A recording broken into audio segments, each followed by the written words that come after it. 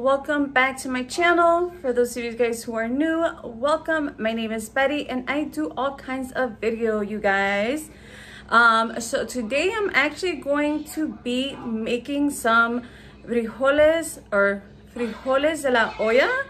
Um and i'm going to do them the way that my grandmother um used to do them i pretty much don't really do frijoles de la olla you guys but when i was little um, I do remember my grandmother um, doing these frijoles and she always, you know, added a little ingredient and nothing special, but I'm gonna show you guys uh, because these little things that she put into it um, bring out so much flavor, you guys. So yes, if you have not yet already subscribed, before we begin, hit that bell for notifications, subscribe you guys. Um, so yeah. Okay, you guys, so I am going to be using um, these pinto beans, um, but you guys can use whatever beans you guys like. Um, I'm going to be using these because these are the kind that my abuela used to use.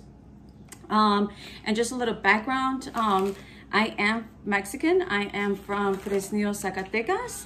Um, Fresnillo being pretty much the pueblo that people go to to buy like their groceries, um, like restaurants and stuff like that. Um, but we actually lived or not lived because we would just go visit, but we are actually from a ranch um, que se llama Purísima del Maguey. And um, when I was little, we used to go and visit my grandparents and family members all the time. I haven't been there in such a long time. I actually haven't been there um, ever since my grandparents passed away um, but I'm pretty sure it looks completely different from what I remember it. Um, but yeah, I used to love going to visit my grandparents. We would go every December. We would go for like three weeks. They would pull us out of school. They didn't give no fucks. And yeah, we would have a fucking blast out there. It would literally be me and all my siblings. We would, um, my parents would drive out there and stuff and it'd be a fucking car packed full of fucking kids, you guys. So um, yeah, we would go over there for like um, los rodeos, los jaripeos, um, las bodas, las quinceañeras. It was a whole freaking vibe. Um, um, but uh, the recipe that I'm going to be showing you guys today is my mother's mother's recipe. Um, and her name is Felipa. Um, so yeah, my grandmother uh, used to love cooking for everyone, you guys.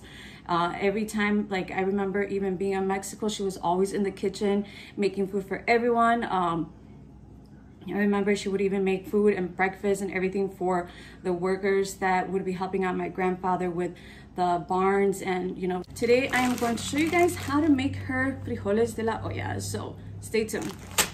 All right, you guys. So first thing you guys want to do, first thing you guys want to do is because um, sometimes these guys have rocks in there or like um, rotten beans. So you want to make sure that you take all those out.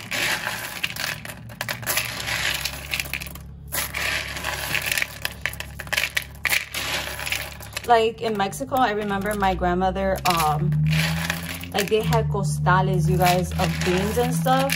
And like this literally came fresh off the land and stuff. And um, me recuerdo que like um like going into the kitchen and she'd be with like her costal and stuff and um she'd have like you know little mountains of beans that she would go through and separate because like she those would have hella fucking you know rocks and shit like that in them so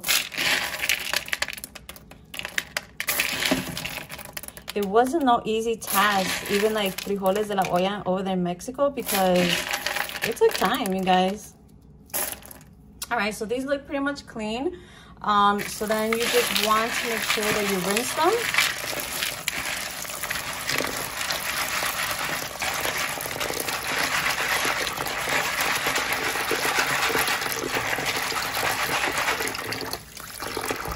You guys see how like cloudy that water is, you guys, that's how you know that they're dirty and stuff. So you want to do this as many times as possible.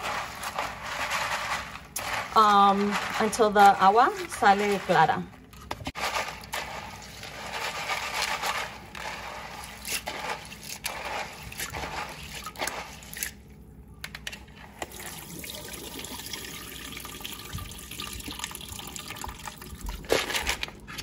Um, I usually use, or at least like, um, I remember my grandmother always using like a deep pot like this.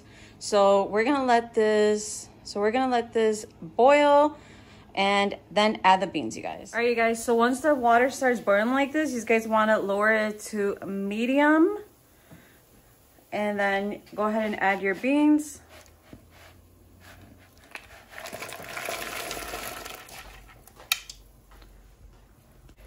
Stir it a little bit.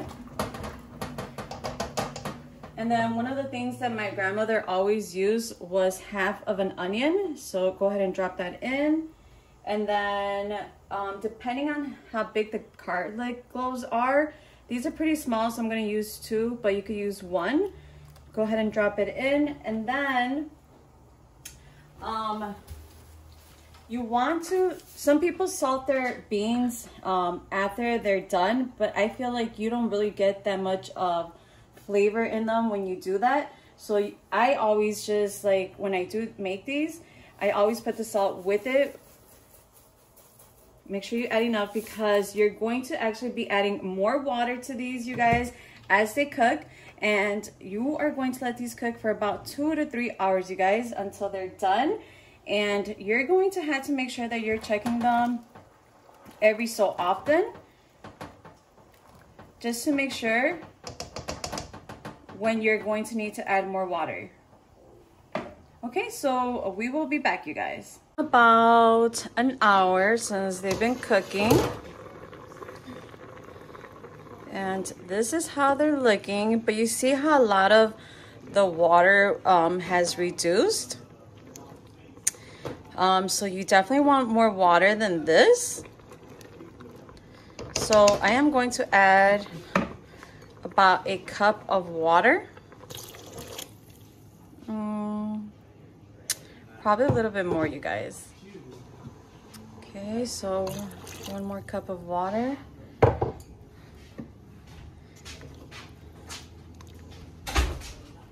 It's faster. Yeah, it's more more. And you see how like they're starting to like peel open and stuff. So that means that they are doing what they're supposed to be doing, which is cooking. You want to make sure to um, taste it for salt because like I said, um, you're adding water to it. So you want to make sure that they're seasoned.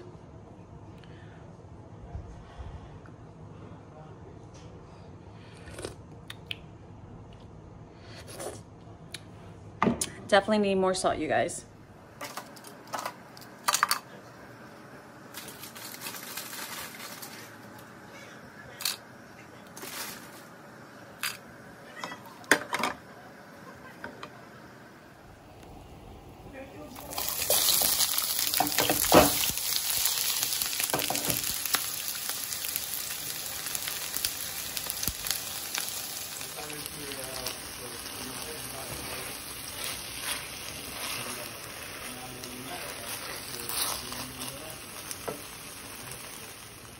Okay, you guys, so, oh shit. So, the beans have basically been um, cooking for about, I want to say three and a half hours.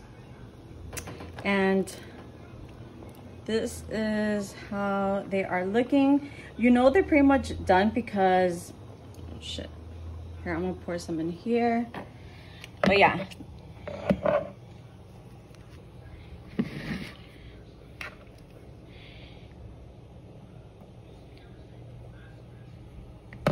You know they're pretty much done because they come apart like this.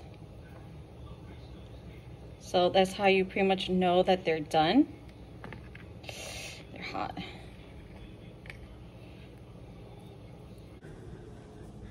All right, you guys, so now that the um, frijoles are done, um, I'm pretty much going to start making the um, frijoladas. Um, for the boys and stuff.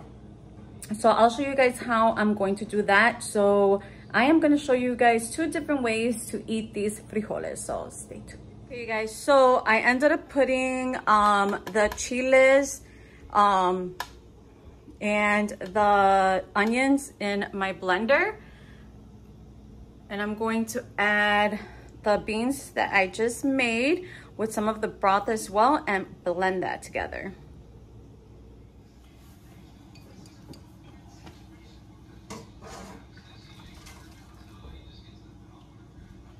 Okay, you guys, you want to make sure to add the broth that you guys cook them with.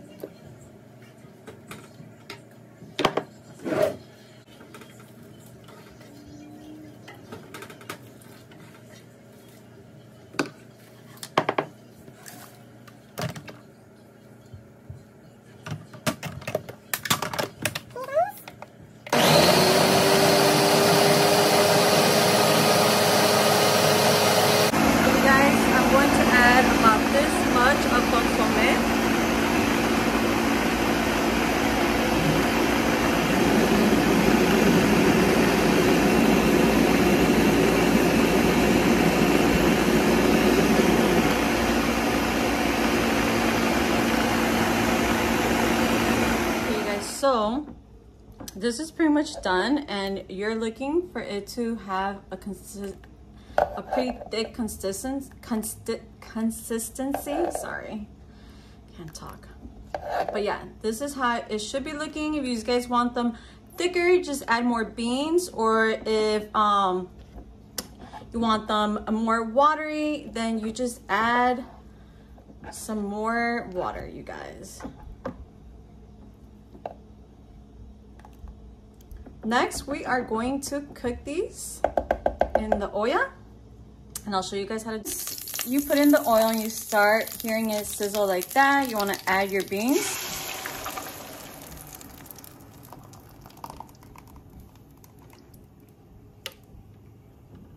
and you're basically letting them cook till it comes to a boil you guys you guys want to put oil oil in your pan and have it warm up on medium. You don't want that much oil, you guys, because otherwise it's gonna make your tortillas soggy, and that is not what we want. We wanna fry our tortillas.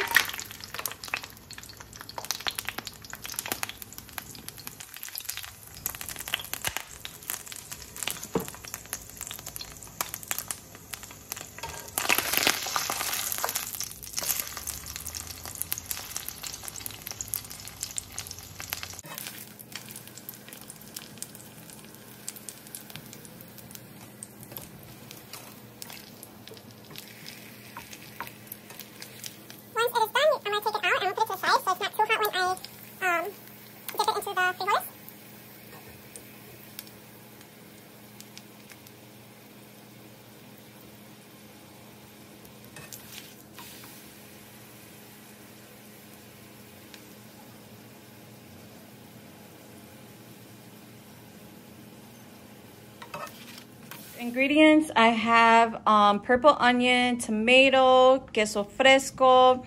I have um, some salsa. I was too floja to make the salsa, so we ended up buying some. Sour cream, and for the boys, um, it's going to be chicken, shredded chicken with um, queso fresco, you guys. So let me show you guys how to build it. All right, you guys, so you want to take your tortilla and dip it. Then you're going to add the inside. Add a little bit more queso fresco because that's what's gonna make it bomb, you guys.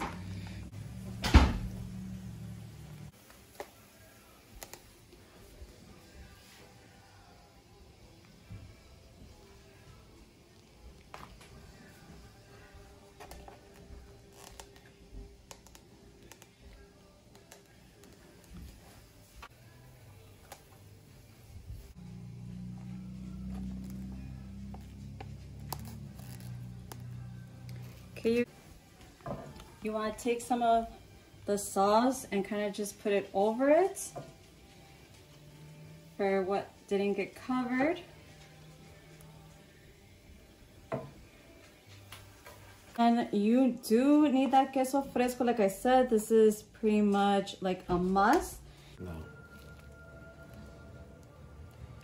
And then you guys just put some crema.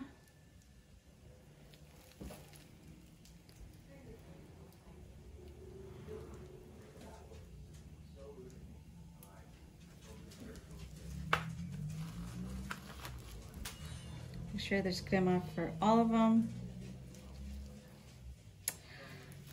And it's pretty much how it looks and you pretty much eat it like a quesadilla, but it's with frijoles, you guys. Bomb. Okay, you guys, for my um, frijoladas and my guys' frijoladas, since you guys already know, if you guys watch my vlogs, we don't um, eat meat. So I am going to put some uh, melted cheese in ours as our filling. Okay, you guys, so I am finally done um, making this meal. So the first thing I want to show you guys is um, my caldo, or not my caldo. Okay, so this is my beans de la olla. I pretty much put um, queso fresco, chile, um, cebolla y tomate. Bomb, you guys. And then these are my uh, frijoladas. And we're about to try this. So yeah, I am going to take a tortilla and roll it and taste test, you guys.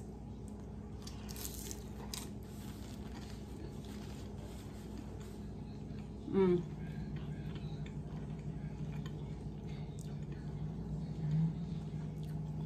Everyone from the rancho, you guys, eats um, frijoles de la olla like this because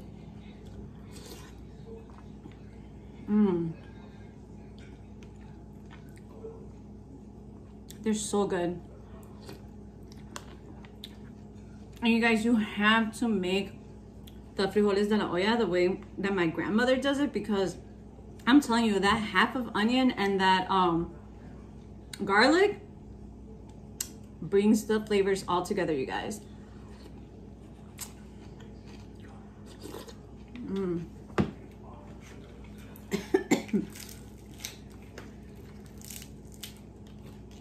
You already know the scoop method.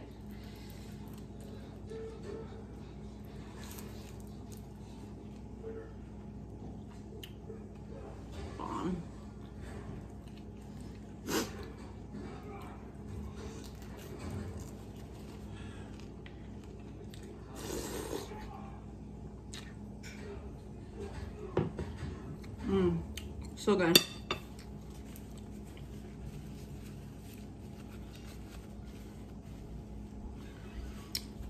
Okay, you guys, next is the frijoladas. So I want to make sure I get the crema, the chile, and aguacate in there, you guys.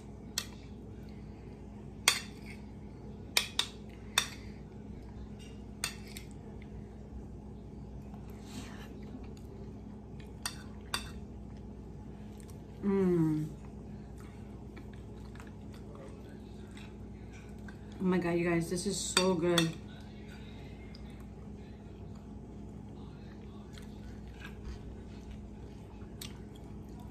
The little cebollas, you guys, sets it off, you guys. Fire.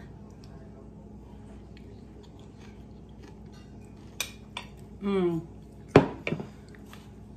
I'm gonna close out this video, you guys, so that I can finish eating. So, I hope you guys enjoyed this video. I hope you guys do um, uh, try this recipe. If you do, make sure you guys follow me on all social media handles.